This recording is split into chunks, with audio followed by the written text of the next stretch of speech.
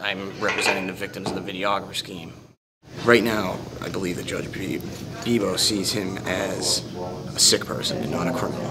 As a person with mental illnesses um, that has a lot of issues and that if he gets the right treatment could potentially be fixed. Um, I don't necessarily agree with that. I feel like I have a higher understanding of Jesse and what he's capable of. The point of the point of the criminal justice system is rehabilitation. So if there's a chance to be rehabilitated, the judge wants to take that opportunity.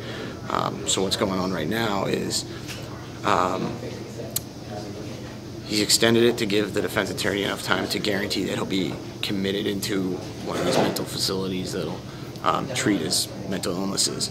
Um, if we come back in and they can guarantee that he'll have a bed at a specific place, the judge will probably put him in that and release him to that. My primary concern is, you know, we're getting recovery for my clients, the, uh, the wedding video, and um, any compensation that we can get out of it.